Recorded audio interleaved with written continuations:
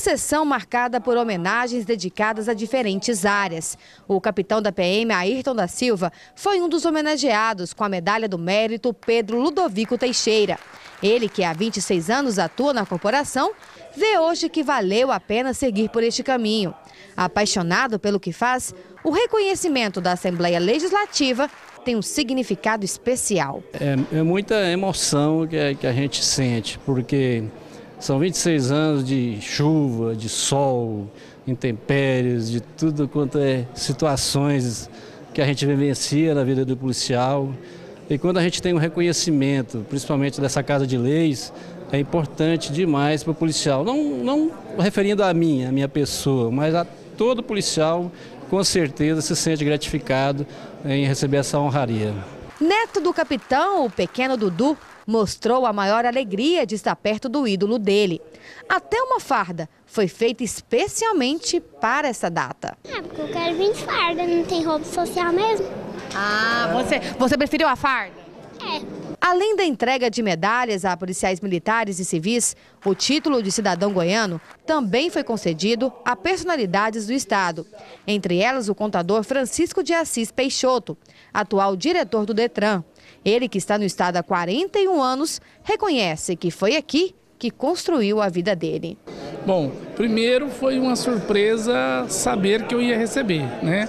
A partir do momento que eu soube, foi um orgulho muito grande para mim, porque eu digo que tudo que sou, tudo que estou, tudo que eu já adquiri na minha vida é, foi pelo Estado de Goiás, até porque já estou aqui há mais de quatro décadas, né? Então, é, para quem nasceu na roça e, e veio para Goiás é, com 11 anos de idade e trabalhou e nunca, nunca imaginava que por um dia eu pudesse receber uma comenda desta, né, uma homenagem dessa, um título desse. Haja emoção!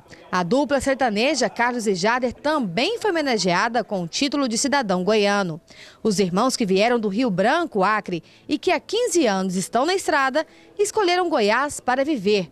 E agora, reconhecidamente goianos, o amor por essa terra só tende a aumentar. O que nos trouxe aqui foi o sonho, a vontade de realizar um sonho de sermos artistas reconhecidos por todo o Brasil. E como Goiás é o berço da música sertaneja, a gente achou que de repente a gente poderia conseguir algo aqui, né? Que conseguiu. Quando viemos embora para cá, jamais pensaríamos que teríamos esse presente dado por Deus e quero agradecer ao deputado Henrique Arantes que está nos concedendo essa honra.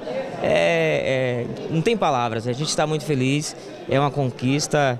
E quando eu quero mais, eu vou para Goiás. Isso aí é, é fato. Entrevista à parte, os irmãos que ficaram conhecidos por grandes sucessos. Carlos e Jader fizeram questão de dar uma palhinha para nossa equipe. Traição é traição, romance é romance, amor é amor e um lance é um lance. A sessão foi proposta pelo deputado Henrique Arantes, do PTB. É importante para mim poder homenagear alguns militares, policial civil também, que tem um serviço prestado importante pela comunidade do nosso estado e dar o título de cidadão a quatro pessoas, essas que moram em Goiás há muito tempo, construíram suas vidas aqui que são o Carlos e Jader, uma dupla sertaneja, vieram do Acre para Goiás há muito tempo atrás. O Assis Peixoto já foi até prefeito da cidade de São Simão por duas vezes, secretário de Estado. E também a pessoa do Evangevaldo Moreira, que foi vereador de Barro Alto, é baiano, e da, da vereança de Barro Alto ele saiu e assumiu até a presidência nacional da CONAB, Companhia Nacional de Abastecimento. Então é muito importante para mim poder fazer essa homenagem a essas pessoas que trabalharam muito e ainda continuam trabalhando pelo nosso Estado.